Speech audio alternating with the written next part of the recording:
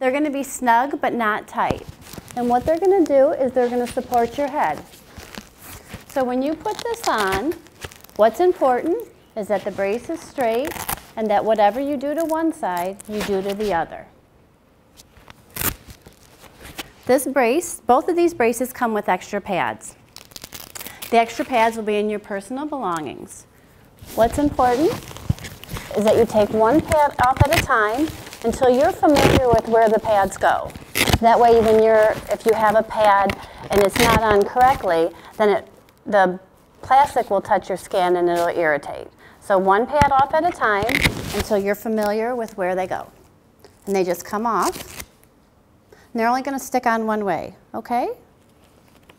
The extra pads, uh, it's up to you to decide when you want to rotate them. And the old pads you're going to keep, and they're going to hand wash, warm soapy water, air dry. Okay, and you'll find those in your personal belongings.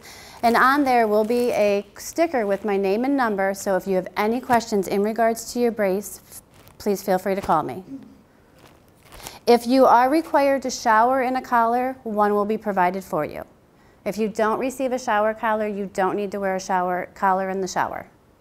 If you're having a lumbar surgery and your doctor has prescribed a brace, you will be receiving one of these braces, okay?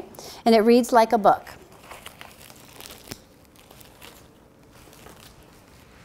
The bottom of the brace is going to sit at the top of your buttocks or right where your pants pocket would start. And then we just go over and it'll Velcro and you'll pull the pulleys till it's snug but not tight. And then it sits on your Velcro.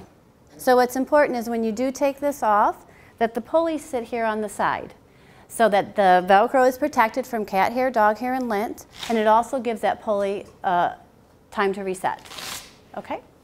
So on and off.